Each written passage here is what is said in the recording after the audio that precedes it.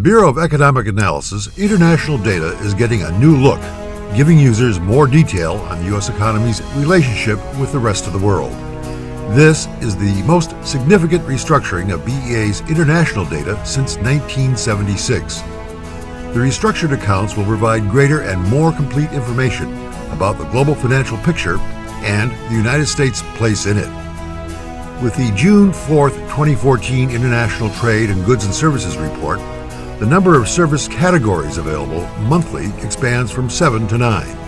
Also, seasonally adjusted trade in goods and services are available for selected countries and areas.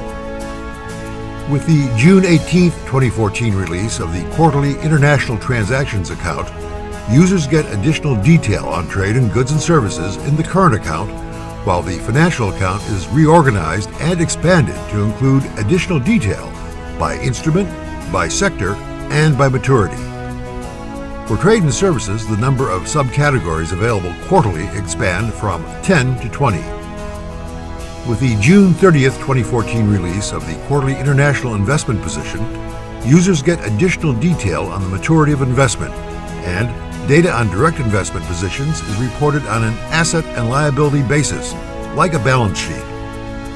These changes align U.S. data more closely with updated international guidelines, such as the sixth edition of the International Monetary Fund's Balance of Payments and International Investment Position Manual.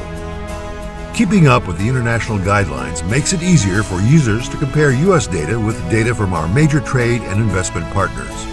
Several industrialized countries have already incorporated these new standards into their international accounts. More information is available at www.bea.gov forward slash international forward slash modern dot modern.htm.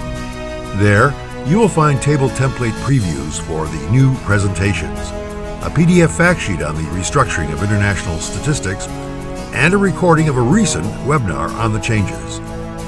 There's also a link to an article on the revisions that appeared in the March 2014 issue of BEA's Survey of Current Business.